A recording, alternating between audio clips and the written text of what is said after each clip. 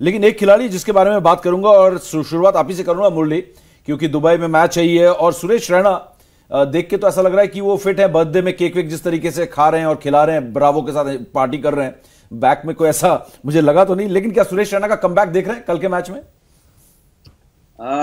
देखिए सच पूछेंगे तो मुझे तो नहीं लगता ना होना चाहिए टू बी वेरी ऑनेस्ट क्योंकि एक है कि आप कंसिस्टेंसी दिखा रहे हैं पर एक है कि किस पे दिखा रहे हैं? ये बहुत इंपॉर्टेंट है। और वहाँ पे लग नहीं रहा कि रन बन रहे हैं अभी। तो मेरे हिसाब से तो नहीं। अगर आप सही सोच रहे हैं और टीम के लिए सोच रहे हैं तो मेरे हिसाब से तो बिल्कुल नहीं होना चाहिए। क्योंकि जिस दिन उन्होंने कहा था कि जो मैच नहीं खेले और कहा कि उनके घुटने में था, उस दिन भी वो पानी पिला रहे थे। ऐसा नहीं था कि वो कहीं अंदर बैठे हुए थे या जो भी है। पर मेरे हिसाब से नहीं होना चाहिए। टीम के हित के लिए नहीं होना चाहिए। तो इसका मतलब मनीपा जी मानी जाए बात कि सुरेश रैना की कहानी इस आईपीएल में खत्म हो चुकी है? देखिए, एक चीज़ है लकी मैस्केट भी होता है, क्योंकि उनको जब से ड्रॉप किया है, वो मैचेस हार रहे हैं।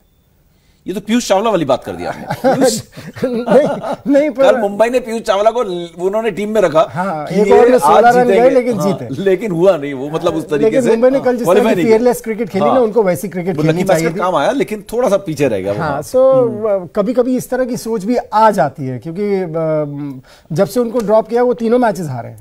सो कभी जहन में आ सकता है कप्तान के भी आ सकता है टोटका बोलते हैं ये बिलीव भी करते हैं। एक्चुअली सीएसके की टीम में इस तरह से बिलीव भी किया जाता है जितना मैंने सुना है। सो हम्म, हम्म। so, उस नज़रिए से देखे तो एक मौका बनता है। उस नज़रिए से देखे तो एक मौका बनता है।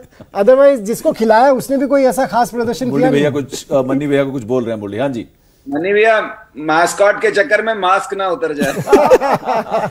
नहीं बट बट कार्तिक कार्तिक उनकी जगह पर जिसको खिलाया उसने भी कुछ ऐसा प्रदर्शन नहीं किया है कि यू नो आप उस पर भरोसा जता सके। रॉबिन उतपा की आप बात कर रहे हैं। उस पर भी चर्चा कहीं वो बीच में जगदीशन को खिलाएँगे क्योंकि उनको लास्ट टाइम खिलाया था।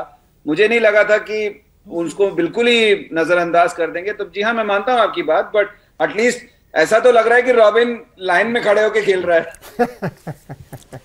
इंडिया टीवी हर वक्त हर जगह। डाउनलोड करने के लिए सर्च करें India TV news Google Play Store या एप स्टोर पर।